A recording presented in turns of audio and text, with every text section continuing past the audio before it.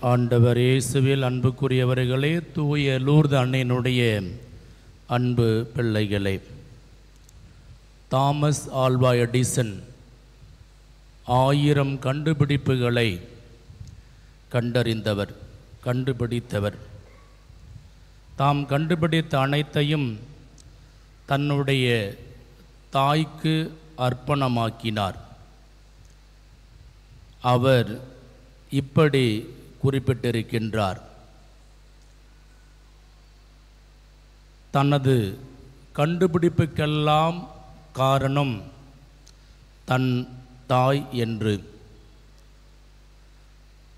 என் தாய் அவர் இப்படி சொல்கிறார் என் தாய் நான் எப்பொழுதுமே கவனக்குறைவாக இருந்தவன்.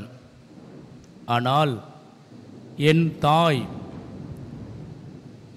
சரியான நேரத்தில் சரியான பாதையில் சரியான நேரத்தில் சரியான பாதையில் என்னை சக்தி வாய்ந்த சக்தியாக மாற்றியது. சக்தி வாய்ந்த சக்தியாக மாற்றியது என் தாயின் வார்த்தைகள்.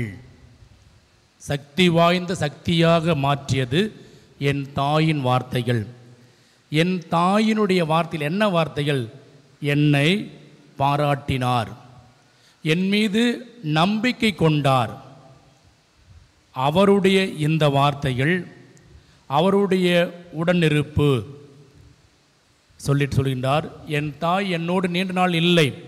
ஆனாலும் அவருடைய வார்த்தைகள் பாராட்டுகள் என் வாழ்வில் அதிக தாக்கத்தை ஏற்படுத்தியது. அதிக தாக்கத்தை ஏற்படுத்தி என்று குறிப்பிடுகின்றார். ஆண்டவர் இயேசுவில் அன்புக்குரிய சகோதர சகோதரிகளே ஒரு மனிதனின் வார்த்தை எப்பொழுதுமே கவனக்குறைவாக இருந்த ஒருவரின் வாழ்வில் ஆயிரம் கண்டுபிடிப்புகளை செய்வதற்கும் ஒரு பெரிய அறிவாளியாக மாற்றக்கூடிய ஆற்றல் இருக்கிறதென்றால் என்றால் இறைவனுடைய வார்த்தை எவ்வளவு வலிமை வாய்ந்தாயிருக்கும் ஒரு சாதாரண பெண்மனுடைய வார்த்தை இவ்வளோ பெரிய கண்டுபிடிப்புகளை கண்டுபிடிப்பதற்கு செய்கிறது என்றால் இறைவனின் வார்த்தை எவ்வளவு வலிமை வாய்ந்ததாக இருக்கும் என்று நாம் சிந்தித்து பார்க்க இன்று அழைக்கப்படுகின்றோம். இந்த இறை வார்த்தையில் இடம்பெறுகின்ற மிக சிறிய நற்செய்தி பகுதியில் ஆண்டவருடைய தாயை பாராட்டுகின்ற ஒரு நிகழ்வை பார்க்கின்றோம். நேற்றைய தினங்களெல்லாம் பார்ப்போம். ஆண்டவர் இயேசுவை பற்றி மிக கடினமான விமர்சனங்களை முன்வைக்கப்பட்ட பகுதிகளை தியானித்தோம். ஆனால் இன்றைய நாளில் ஆண்டவர் இயேசுவை பற்றி பாராட்டி பேசுகின்ற ஒரு நிலை ஏதோ பெயர் சொல்ல பெயர் இல்லாத ஒரு பெண்மணி பாராட்டுகின்ற ஒரு நிகழ்வை பார்க்கின்றோம். ஆனால் இந்த பாராட்டு நிறைந்த வார்த்தைகளை ஆண்டவர் இன்னும் மிக உயர்வாக சொல்வதை பார்க்கின்றோம். இந்த பகுதியைத்தான் பிற சபையை சார்ந்தவர்கள் ஏதோ ஆண்டவர் அன்னை மரியாளை நிராகரிக்கின்றவராக அன்னை மரியாளை நிராகரிக்கின்றவராக உதாசீனப்படுத்துகின்றவராக பொருள் கொள்கின்றார்கள் நிச்சயமாக அது அல்ல. ஆண்டவருடைய இந்த வார்த்தையில் நாம் நன்கு கவனிக்க வேண்டும். இறைவார்த்தையை கேட்டு அதை கடைபிடிப்போர் இன்னும் அதிகம் பேறு பெற்றோர். இறை வார்த்தையை கேட்டு அதை கடைபிடிப்போர் இன்னும் அதிகம் பேறு பெற்றோர். அன்புக்குரியவர்களே அன்னை மரியாளை விட இந்த உலகத்தில் இறைவார்த்தையை கேட்டு அதன்படி வாழ்ந்தவர்கள் யாரும் இல்லை இப்பொழுது இவர் சொல்லுகின்றார் ஆண்டவர் இயேசு சொல்கிறார் ஆனால் ஆண்டவர் இயேசுவை கருவில் சுமர்ந்து எலிசபெத் அம்மாள் சந்திக்க சென்ற பொழுது எலிசபெத் அம்மாள் சொன்ன வார்த்தை என் ஆண்டவரின் தாய் என்னிடம் வர நான் வாய்ப்பு பெற்றது எங்கனம்? என்று கூறியதோடு அவர் நின்றுவிடவில்லை லூகா நற்செய்தி நாற்பத்தி ஐந்து பார்க்கின்றோம். ஆண்டவருடைய வாக்கு நிறைவேறும் என்று விசுவசித்த கன்னிமறிய நீ பேறு பெற்றவள். இப்பொழுதுதான் ஆண்டவர் சொல்லுகின்றார் ஆண்டவருடைய இறைவார்த்தை கேட்டு அதன் மண்டப்போர் பேறு பெற்றோர் என்று. ஆனால் இவர் பிறப்பதற்கு முன்பாகவே இறைவார்த்தை நிறைவேறும் என்று விசுவசித்தவள். அப்படி அந்த விசுவாசத்தின் அடிப்படையில் ஆண்டவருடைய வார்த்தையான இறைவனை கருவில் சுமக்கக்கூடிய பாக்கியத்தை பெற்றவள் யார்? மரியாள். மரியாள். ஆண்டவர் இயேசு இங்கு சொல்வது ஏதோ என்னை பெற்றதால் என் தாய் பேர் பெற்றவள் அல்ல. சாதனை நினைத்து விடக்கூடாது. ஏதோ என்னை பெற்றதால் என் தாய் சாதாரண பெருமைக்குரியவர் அல்ல. மாறாக இறைவார்த்தையின் ஒளியில் இறைவார்த்தையில் நம்பிக்கை கொண்டு அதை கடைபிடித்து வாழ்வாக்கிய என் தாய் பேறு பெற்றவள் என்று மிக மிக உயர்வாக பேசுவதை பார்க்கிறோம். சில பேருக்கு இந்த இறைவார்த்தையினுடைய பொருள் தெரியாமல் ஏதோ ஆண்டவர் ஆண்டவரே மரியாதை உதாசனப்படுத்தியதாக நிராகரித்தாக சொல்கிறார்கள் நிச்சயமாக இல்லை. அவர் இங்கு குறிப்பிடுவது என் தாய். உடல் சார்ந்த நிலையில் மட்டுமல்ல மாறாக இறைவார்த்தையின் ஒளியில் அவர் பேறு பெற்றவராக அந்த இறைவார்த்தைக்கு உரு கொடுத்தவராக இருக்கின்றார் என்பதைத்தான் ஆண்டவர் இங்கு சுட்டி காட்டுகிறார் அன்புக்குரியவர்களே இந்த இறைவார்த்தையின் ஒளியில் வாழ்ந்த இந்த அன்னையனுடைய ஆசிரியர் பெறுவதற்காகத்தான் நீங்களும் நானும் வந்திருக்கிறோம். அப்படியானால் என்ன? நாம் எல்லாம் நம்பிக்கையாளர்கள். அதைத்தான் இன்றைய முதல்வா சொல்லுகிறது. நாம் எல்லோரும் நம்பிக்கையாளர்கள். யாரில்? இறைவனில் நம்பிக்கையாளர்கள் இறை வார்த்தையில் நம்பிக்கை கொண்டவர்கள். ஆகவே நாம் எல்லோரும் கடவுளுடைய பிள்ளைகள். இறைவனில் இறைவார்த்தை நம்பிக்கை கொண்ட எல்லோரும் கடவுளுடைய பிள்ளைகளாக இருக்கிறோம். கடவுளுடைய பிள்ளைகளாக இருக்க நம்மிடம் என்ன இருக்க வேண்டும் என்பதை இன்றைய இறைவார்த்தையில் முதல் வாசகம் நம்ம தெளிவுபடுத்துகிறது நம்மிடையே யூதன் என்றோ கிரேக்கன் என்றோ ஆண் என்றோ பெண் என்றோ பேதமில்லாத நிலை இருக்க வேண்டும். பேதமில்லாத நிலை இருக்க வேண்டும்.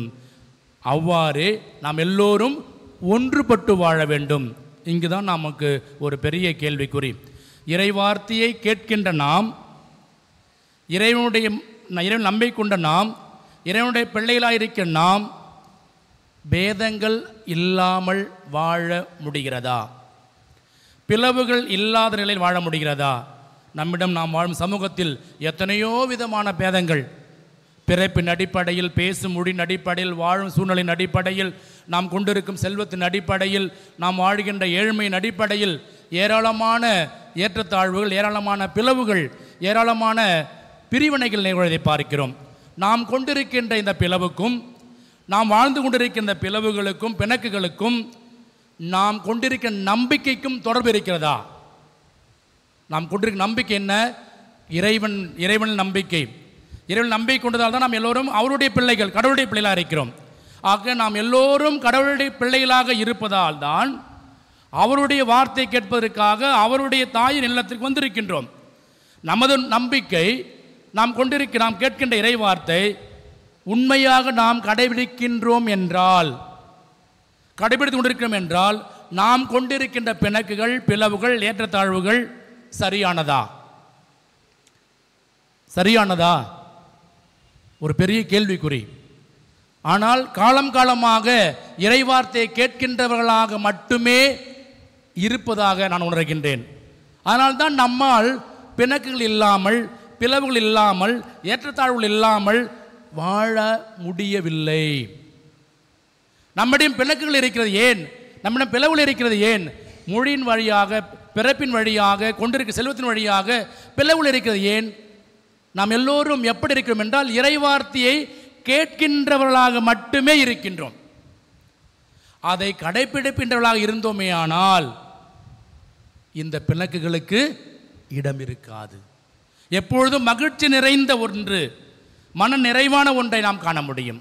அன்புக்குரிய சகோதர சகோதரிகளே யாக்கோப்பு தன்னுடைய புத்தகத்தில் மிக அழகாக சொல்வார்கள் நீங்கள் இறைவார்த்தையை கேட்கின்றவர்களாக இருந்தால் உங்கள் முகத்தை கண்ணாடியில் பார்த்துவிட்டு செல்வதற்கு ஒப்பாகும். நாம் எல்லாம் யாராக இருந்து கொண்டிருக்கிறோம்? நம்மளாம் சொல்கிறோம் நாங்கள்லாம் அவங்க பிள்ளைகள். எங்கள் எங்கள் அம்மாவை பார்க்க வந்துக்கிறோம். நம்ம எல்லாம் சொல்கிற ஒரு வார்த்தை என்ன சொல்கிறோம் அம்மாவை பார்க்க வந்துக்கிறோம். லூர்து அன்னையை பார்க்க வந்திருக்கிறோம். வந்துக்கிறோமா நம்ம எல்லாருக்கும் அம்மா இல்லையா? நம்ம எல்லாருக்கும் அம்மான்னா அந்த அம்மாவுடைய பிள்ளைகளாக நாம் எப்படி இருக்கணும்? ஒன்றா இருக்கணும் இல்லையா? ஒற்றுமையாக இருக்கணும் இல்லையா? சமானம் இருக்கணும் இல்லையா? விட்டு கொடுத்து வாழணும் இல்லையா? எந்த விதத்திலும் பிணக்குகள் அற்ற நிலையில் இருக்க வேண்டும் இல்லையா? என்ன சொல்லுவாங்க? தாயை போல பிள்ளை நூலை போல சேலை. நம்ம அம்மா இறைவார்த்தின் ஒளியில் வாழ்ந்தவர் இறைவார்த்தையை கேட்டு அதன்படி நடந்தவர் இறைவனின் தாயானவள் இந்நாள் முறை எல்லா தலைமுறையும் பேருடையாள் என போற்றக்கூடிய நிலைக்கு உயர்ந்திருக்கிறாள். அப்படிப்பட்ட உயர்வுக்கும் உயர் வணக்கத்திற்கும் உரிய மரியாதையுடைய பிள்ளைகளாக இருக்க நாம் எல்லோரும் எப்படி வாழ்ந்து கொண்டிருக்கிறோம்?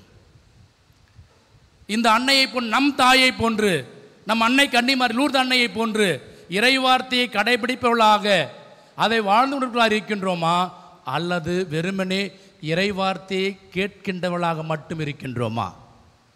ஏதோ எல்லாம் கோயிலுக்கு போகிறாங்க நானும் கோயிலுக்கு வந்தேன். எல்லாரும் திருத்தலத்துக்கு போனாங்க நானும் திருத்தலத்துக்கு போனேன். சொல்லுவாங்க பூவோட சேர்ந்த நாரும் மணப்பது போல. பூவோட சேர்ந்த நாரும் மணப்பது போல. இந்த அன்னையிடம் வந்திருக்கிறோம். அந்த அன்னையினுடைய பரிமாணங்கள் நம்மிடம் விளங்க வேண்டும். அந்த அன்னையினுடைய இயல்புகள் நம்மில் வெளிப்பட வேண்டும். இந்த அன்னையினுடைய குணநலங்கள் நம்மில் வெளிப்பட வேண்டும். இல்லை என்றால் இதெல்லாம் தெரியல. இதெல்லாம் என்ன சொல்ல முடியும்? நம்ம ஒரு பொருள் வாங்குகிறோம் அந்த கம் அந்த பொருள் வந்தோடனே இந்த கம்பெனியுடைய பொருள். ஒரு உணவு வாங்குகிறோம் இந்த கடையினுடைய உணவு. இந்த ஒரு ஷர்ட் வாங்குகிறோம் இந்த கம்பெனி தயாரித்த ஷர்ட்டு நாம் அந்த கம்பெனிக்கு போயிருக்க மாட்டோம் பார்த்துருக்க மாட்டோம். என்ன பண்ணுறோம் அந்த மெட்டீரியலை பார்த்த உடனே என்ன சொல்கிறோம் இந்த கம்பெனி தான் தயாரிச்சிருக்கோம். சிறந்ததை நேர்த்தியானதை நம்ம என்ன பண்ணுறோம் பார்த்த மாத்திரத்தில் நாம் கொண்டிருக்க சுவை நாம் கொண்டிருக்க அனுபவத்தின் அடிப்படையில் அதை அடையாளப்படுத்துகிறோம். அப்படி என்றால் நாம் அன்னை மரியாளையும் ஆண்டவரையும் என்ன பண்ணோம்? அடையாளப்படுத்தணும் எப்படி? நம்முடைய ஒற்றுமையினால் நம் சமாதானத்தினால் நமது ஒருங்கிணைந்த கிறிஸ்துவ சமூக வாழ்வினால் மரியாளை ஆண்டவருடைய வார்த்தைக்கு சான்று பகர வேண்டும். இல்லை என்ன பண்ணோம்? சில முறை பார்ப்போம் தெரியுமா? அந்த மாதிரி தான் இருக்குது. இது டூப்ளிகேட்டு. பார்ப்பீங்களா? கேள்விப்பட்டிருக்கீங்களா? அந்த பிராண்டு தான் அந்த மாதிரி தான் துணியாக தேருது ஆனால் இது ஒரிஜினல் கிடையாது. டூப்ளிகேட் போலி. என்னது பேர்? போலி. ஏன்னா அந்த வாசம் இல்லை. அந்த சாஃப்ட்னஸ் இல்லை. அந்த கடை இட்லியா இது? இருக்காது. அது மாதிரி தான் இருக்குது. ஆனால் அந்த கடை இட்லி கிடையாது. அந்த கடை பிரியாணியா? இல்லை. அதுமாரி தான் தெரியுது.